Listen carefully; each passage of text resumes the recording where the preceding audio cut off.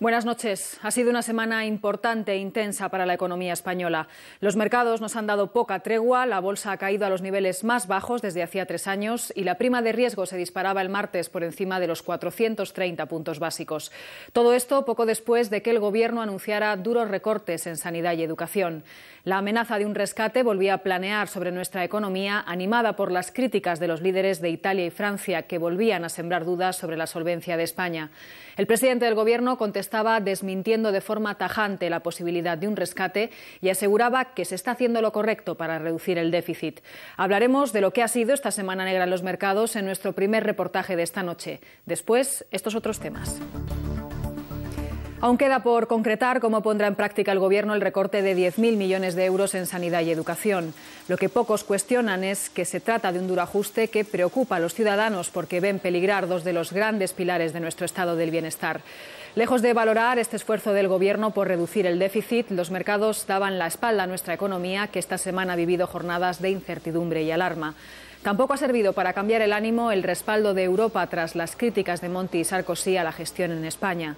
Informe semanal ha hablado con algunos expertos que nos cuentan cómo interpretar este panorama económico que nos asfixia y cómo enfrentarnos al futuro incierto de esta larga crisis.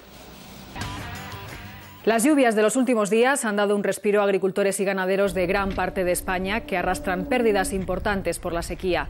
No hay pastos en los campos y la cosecha de cereales tempranos está muy mermada tras un invierno que, según los meteorólogos, ha sido el más seco desde que se tienen registros.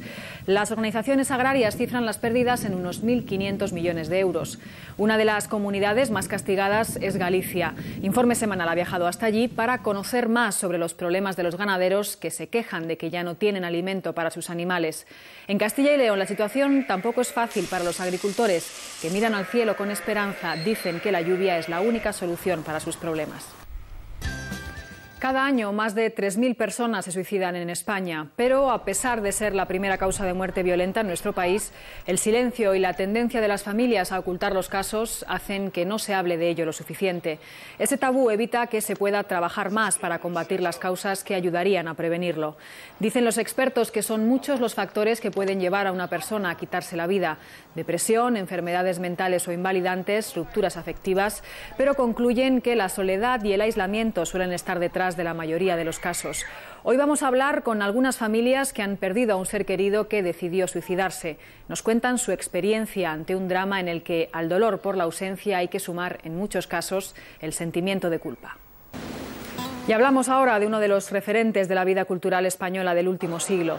Es difícil visitar Madrid sin oír hablar del Café Gijón. Escritores, pensadores o artistas se han sentado en alguna de sus mesas desde que abrió sus puertas en 1888.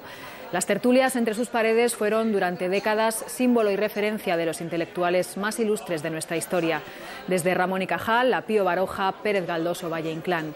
Sin embargo, ahora el mítico Café Gijón atraviesa un momento delicado. Otra empresa ha comprado su terraza, que era su mejor fuente de ingresos, y sin ella los propietarios ven en peligro la continuidad del café.